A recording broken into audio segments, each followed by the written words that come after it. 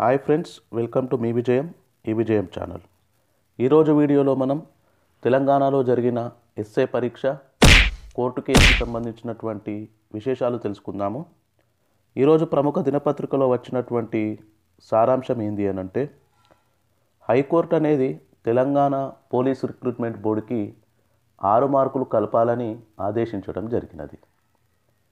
అయితే recruitment board మరొకసారి కోర్టుకు వెళ్దామనేటటువంటి ఆలోచనలో ఉన్నది. ఎందుకు అనంటే ఈ ఆరు మార్కులు కలపడం వల్ల మరింత ఎక్కువ మంది ఈవెంట్స్కి క్వాలిఫై అయ్యేటటువంటి అవకాశం ఉంది.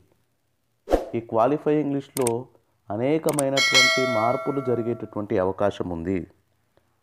సో ఈ ఆరు మార్కులు కలిపి మరొక కొత్త లిస్టు తీసుకురావడానికి మరింత సమయం పట్టేటటువంటి అవకాశం ఉంది కాబట్టి రిక్రూట్మెంట్ బోర్డు ఏమని ఆలోచిస్తుంది అని అంటే ఇదంతా ఒక గందరగోళానికి గురయ్యేటటువంటి అవకాశం ఉంది కాబట్టి మరొకసారి కోర్టుకు వెళ్ళి అప్పీలు చేసుకునే ఆలోచనలో ఉన్నట్లు తెలుస్తుంది. ఒకవేళ ఈ ఆరు మార్కులు ఎస్ఐ అభ్యర్థులకు కలిపినట్లయితే రేపు కానిస్టేబుల్ పరీక్షకు సంబంధించినటువంటి ఇష్యూ కూడా కోర్టులో ఉంది కాబట్టి కోర్టు తీర్పు వారికి అనుకూలంగా వచ్చినట్లయితే క్యాండిడేట్స్కి వారికి కూడా మార్ మార్కులు కలిపేటటువంటి అవకాశం ఉంది వారికి మార్కులు కలపడం వల్ల మరింత మంది ఈవెంట్స్కి క్వాలిఫై అయ్యేటటువంటి అవకాశం ఉంటుంది కాబట్టి సో ఈ పరిస్థితి అంతా కొంచెం గందరగోళంగా తయారయ్యేటటువంటి అవకాశం ఉంది అనే ఆలోచనలో రిక్రూట్మెంట్ బోర్డు మరొకసారి కోర్టుకు వెళ్ళేటటువంటి ప్రయత్నం చేస్తున్నది. ఆల్రెడీ ఇప్పుడు ఎనిమిది నెలలకు పైగా కావస్తున్నది కాబట్టి నోటిఫికేషను. సో ఈవెంట్స్ పోస్ట్పోన్ అవుతూనే ఉన్నాయి ఈ ఎలక్షన్స్ వల్ల.